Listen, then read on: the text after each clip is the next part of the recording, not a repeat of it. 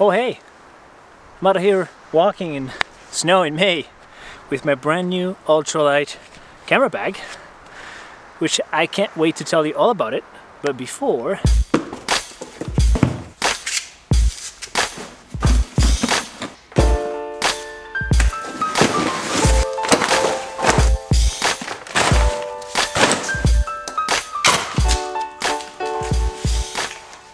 I have a confession. I am addicted to backpacks and shoes. I've been working on something for the past, gosh, it was February of last year, so it's been a month and a month, a year and a few months. So yeah, I've been working on this thing for a while uh, with Moment. It's a backpack essentially. And the reason I've made it is because, you see, I used to think that to go hiking, you needed shoes like this. Or simply, you need something like this to go hiking. Well, I was wrong. Obviously, shoes like this are great for some things. Uh, there's nothing wrong with them, but I found that there are far better options to go into the mountains and just hiking. Something like, I've pretty much walked across Slovenia with these. I've put about, yeah, three, 300 miles on these. Um, this is not a La Sportiva ad. Um, Salomon makes some perfectly good ones as well. This is very, very light. It's a piece of art. There's nothing wrong with big leather boots and three layer hiking boots and ankle support. That's all good for some people. What I have realized is that most often than not, they get in the way of what I'm trying to be doing and going. So I've used this learnings in what shoes should do for me. So to go from here to here and what I've done is apply that philosophy and this approach to materials, weight, features, and I've applied that to the world of camera bags and hiking packs to make my dream product. I also thought you needed a backpack like this. Padding everywhere and whole kit and caboodle can fit in this bag. And there's nothing wrong with it. However, I would not take it anywhere because it doesn't match what I've learned and what I believe in. The biggest problem I faced is that the hiking world and the photography world were two different things, completely separated, and I had trouble and still have trouble linking it. It's good that I, you know, I can have a massive bag, but there's nothing for it to put my camera in. I just have to sort of shove it in there with sleeping bag or my jacket or my stove and it'd take me forever to access it, right? Let me show you what I'm talking about. This is a perfectly good camera bag. Low Lowepro Powder BP 500 AW. The pitch for this bag is that it takes your camera, many cameras, with you into the backcountry. So, I don't know what's in here, but okay, okay, there you go. So it's made to take all this stuff into the backcountry. A 1DX with a 1635, a massive zoom lens, hard drive, a 24, some batteries. Anyways, it fits more than I would need and more than you would need unless you're doing some sort of commercial shoot. This bag works, but there's a few problems and you can see it here. Look at the space for photography and look at the space for gear. How am I supposed to fit a tent or a sleeping bag or jacket or food in this thing? And it's designed for that. I mean, they sell it as a, it's a, it's a ski bag. Cool. Well, good for a day ish, but not good for an overnight or anything like that because because that's the room you get for your jacket. This much right here. It's not a whole lot. And that's the problem with a bunch of these bags is that there's just no room for anything else than your camera gear. And that just drives me nuts. Another example, the Lowepro Whistler BP450 AW2. I wouldn't go skiing with this thing. It's so big. It's got so many features I don't need. Where am I supposed to put a jacket for the day? This is brand new. See? It says new. It's made by Lowepro. It's pretty light. I respect it. By the way, Lowepro makes good stuff. It's just not great for the backcountry. This is called the Flipside BP400. Oh my god, look at all this space. Great. Where do I put my tent? I'm getting a bit excited. Certainly good camera bag, but again, there's just a big disconnection between hiking and photography. I think that's it for examples. And throughout the last two years, I've had tons of conversations with other photographers who were frustrated by this, and I came up with solutions that involved a lot of DIY and compromises. It's not bad stuff, but the problem is that it wasn't holistic, but I'll still walk you through what I found. So this is a Lowe Alpine bag. It's called the Mountain Ascent 4050. It's super light. It has a small little frame in there that you can remove if you want. It's a metal frame. Minimal, right? And it's still a 40 to 50 liters, which is all you need for a few days. I mean, even a week. You can do anything with this size. So I think 45 is the ideal size for a pack. And this one is a bag I really love. Problem is, it's not made for photographers. It's made for climbing. And anything you do to it is going to be a compromise. So this would fit my sleeping bag at the bottom, my pad, my stove, my layers, some food, water, and then on top of it all, I would just usually shove my camera bag, shove one of these little units in here, little ICU. You know, you can fit a few lenses and a camera. Or I would also use a Lowepro top loader that I would sort of jerry rig to this. You know, top loader goes like down here and I would have my camera off the side. Problem with that is that you should always carry your heaviest stuff at the bottom of the bag, right? Closer to your back. Uh, if you put, and the camera is often the heaviest thing, so that just makes your backpack a bit dangly and it's also a bit tough on your back, right? And you know, we're all aging. I'm past 30 now, so it starts to hurt everywhere. So I thought there's gotta be a better solution than just jerry rigging all these mountain bags. There's gotta be a permanent thing that just works.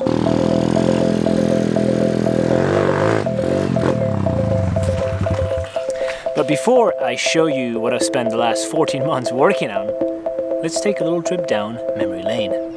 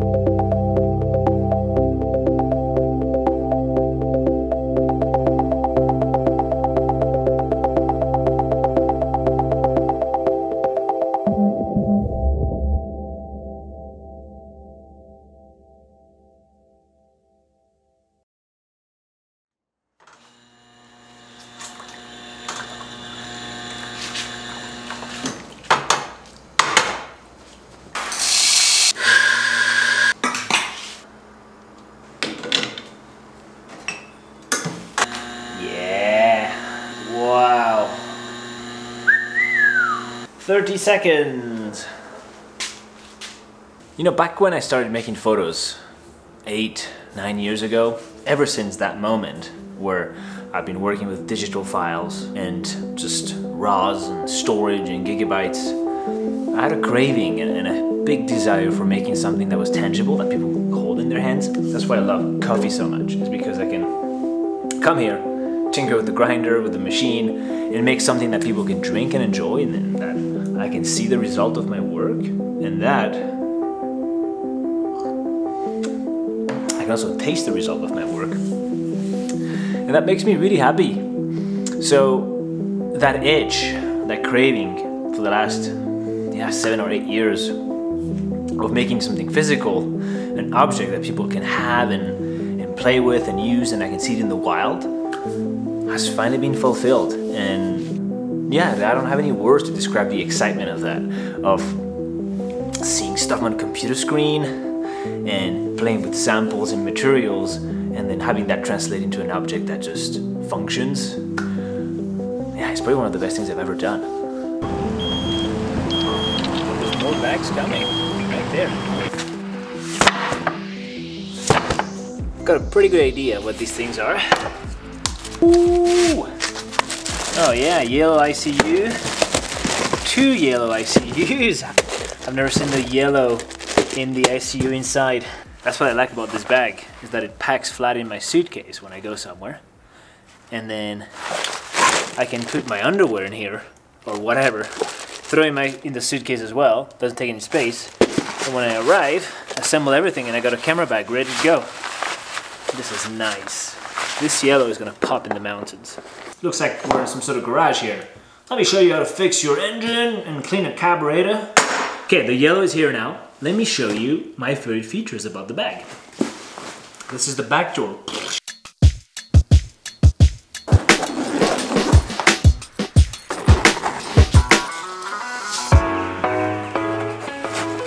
Let's go with the fabrics, shall we? This is perforated, means it breathes. Same with the shoulder straps here, highly breathable stuff.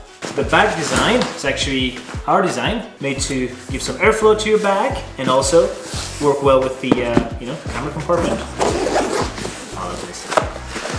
Ah, these big pockets here, good for water, a tripod, um, an Allen wrench, pedal wrench if you need to. You, know, you can put anything you want really. It's a very inclusive bag. You can be a mechanic, a gardener, a physician, an astronomer.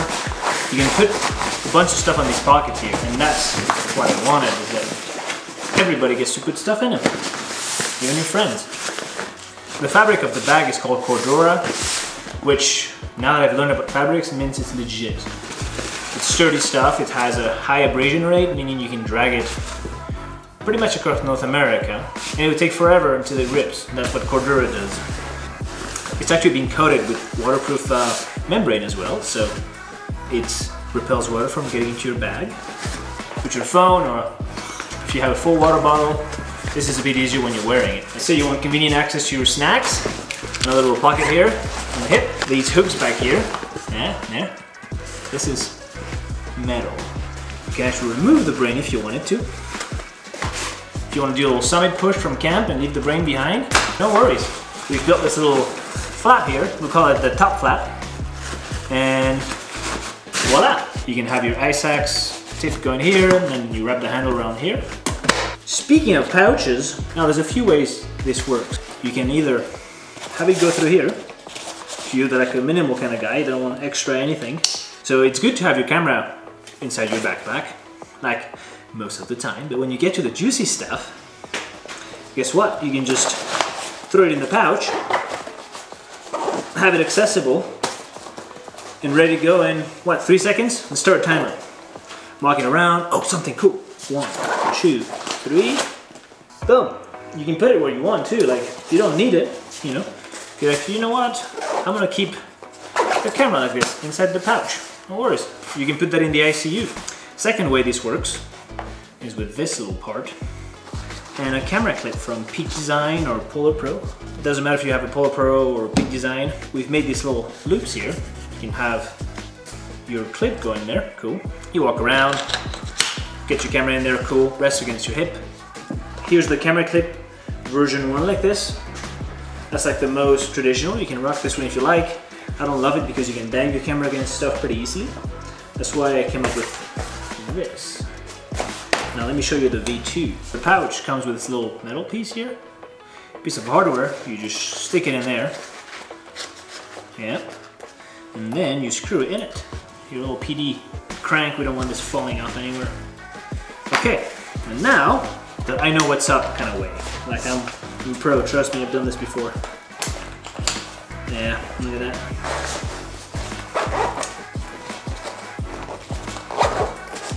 2470, as happy as ever.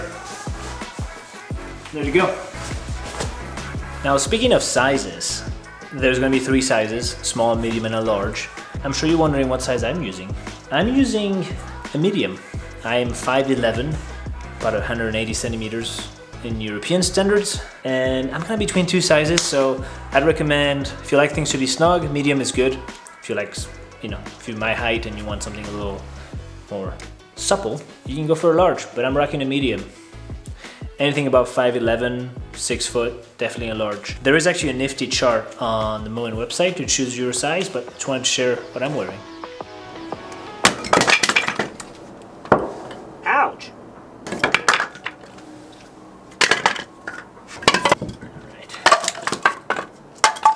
I know you're wondering about testing. Testing is important.